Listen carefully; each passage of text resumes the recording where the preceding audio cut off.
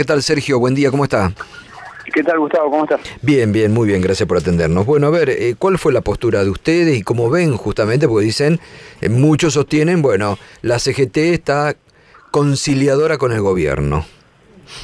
Nosotros lo que planteamos en el Confederal de ayer y me tocó hacer el primer, la primer secretario que pidió la palabra, fue en este caso me tocó a mí, yo planteé que las condiciones objetivas por las que fuimos convocados al plenario de Ferro siguen aún vigentes, ¿no? Que son una caída del consumo, no se ha recuperado el poder adquisitivo del salario, hubo una devaluación fenomenal en el 2016 y parte del 2017 que repercute sobre los mm, productos básicamente de la canasta familiar. Eh, hemos sostenido que hay caída del empleo industrial y que el propio presupuesto de la Nación prevé un crecimiento del 10% de las importaciones, con lo cual va a haber menos empleo argentino, y que no había respuesta al pedido de emergencia que se había hecho para los jubilados dentro de los temas que habían sido tratados por eh, la reunión de secretarios de Perro que se hizo en el mes de julio, agosto, y que también en aquel entonces reclamábamos por el cese de las intervenciones en los sindicatos y que los mismos continúan. Entonces que las razones objetivas seguían siendo las mismas por las que ese plenario había planteado un, una medida de fuerza o un plan de lucha. Después hay condiciones que son subjetivas, el humor de la gente, el proceso electoral, que es materia de discusión y cada uno tiene su opinión. Yo tengo la mía y en ese sentido creo que el gobierno no ha obtenido ningún respaldo mayoritario como para que nosotros tengamos que recapacitar sobre lo que venimos reclamando, por el contrario, sigue habiendo dos tercios de la sociedad que vota en contra del gobierno. El problema es que hacemos con los dos tercios que votan en contra, nada más que a veces terminan siendo funcionarios del gobierno. Sí, sí, y después cómo votan, ¿no? en el, en el Congreso, algunos de ellos. Exactamente, por eso digo, el problema pasa a ser de aquellos que votan una opción opositora y terminan siendo funcionarios a la estrategia del gobierno y le dan los votos en el Congreso.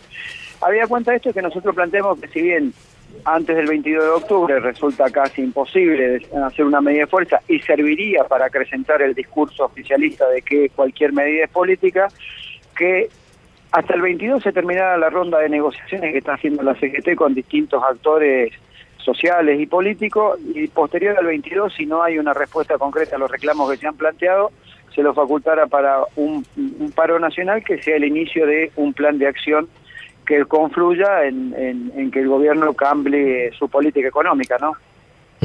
Ahora esto se termina luego aceptando, obviamente todos los discursos luego giraron en torno a esto con matices iguales a los nuestros, con matices no tan iguales, pero en definitiva no hubo opinión en contraria a, esta expresión, que se terminara esa ronda de negociación y que posterior a ello, si no había claramente definiciones respecto a los reclamos que, estamos planteando, se avanzara con un... se lo facultara para avanzar con...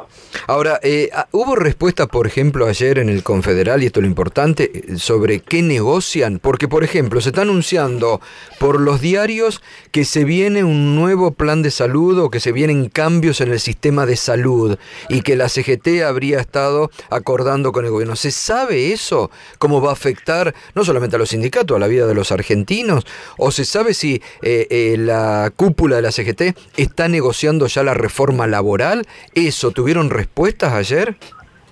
Sí, ayer era un informe sobre eso. Hay puntos en donde claramente se expresó la, eh, una negativa atajante. Una de ellos tiene que ver con el cambio del modelo sindical. Segundo, el, el tema de la reforma laboral, lo que explicaron los compañeros es que eh, lo, que ha salido por los medios, que el ministro dijo que no se pretende enviar ninguna ley, que no hay ninguna ley, y a su vez la CGT ahí decidió crear un observatorio vinculado a la negociación paritaria y de convenios colectivos para ayudar particularmente a las organizaciones pequeñas para que no sean avanzadas en convenios que terminen perjudicándolos.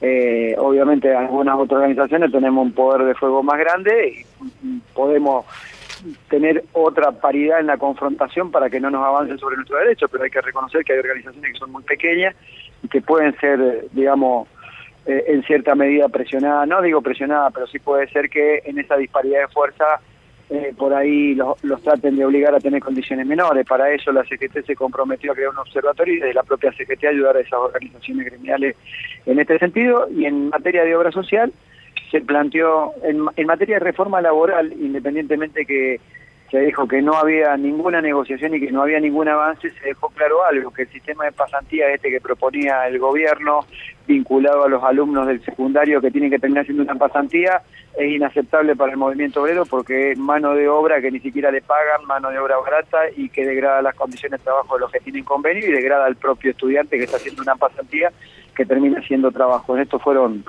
definiciones categóricas de los compañeros que hicieron el informe y con el tema de la seguridad social, por un lado, dieron la defensa del sistema solidario de salud y obras sociales, y yo particularmente planteé que hay un incumplimiento del acuerdo que se hizo el año pasado en materia de obra social con el gobierno, cuando se comprometieron a elevar la cápita que nos pagan a las obras sociales por los jubilados que atendemos, que en lugar de estar en el, en el PAMI están en cada una de nuestras obras sociales, y que hoy por ello se percibe 182 pesos, cuando en realidad el PAMI, mirando su presupuesto, destina más de 2.000 pesos por jubilado a la atención médica.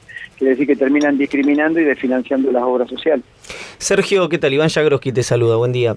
¿Cómo te va, Iván? Bien, a riesgo de abundar en algo que comentabas recién, pero para, para entenderlo mejor, eh, si el gobierno insiste, que parece lo que va a hacer con eh, la reforma por sector, ¿cómo hacen los gremios más grandes, los más importantes, los que pueden generar más presión, como el tuyo, por ejemplo, para colaborar con los gremios más chicos, que a lo mejor no tienen tanta posibilidad de tensar con el gobierno?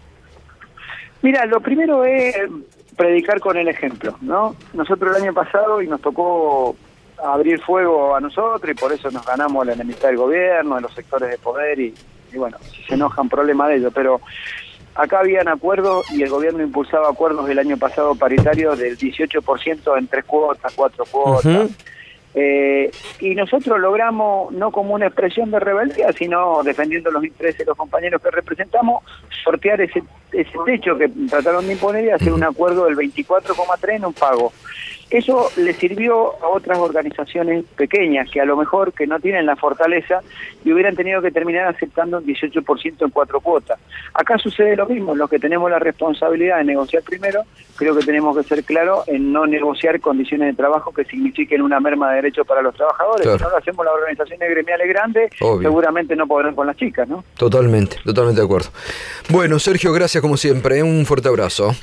Bueno, y por supuesto aprovecho para invitarlos si quieren ir hoy a las 18 horas, reasumimos funciones sí. después de la elección de la Asociación Macaria. Bueno, felicitaciones, gracias, eh, gracias por la invitación gracias, que ya Gustavo, me gracias, llegó, eh, gracias realmente porque además, eh, siempre lo digo Sergio, pero ahora que lo tengo adelante, ustedes están realizando realmente una eh, gestión excelente que ha sido ratificada y que han sido uno de los pocos gremios que desde el primer momento cuando intentaron llevarse los puestos dijeron, momentito que hay derechos adquiridos que hay que hacer respetar. Así que eso vale en estos momentos donde hay tanto envalentonamiento por parte del gobierno. ¿eh?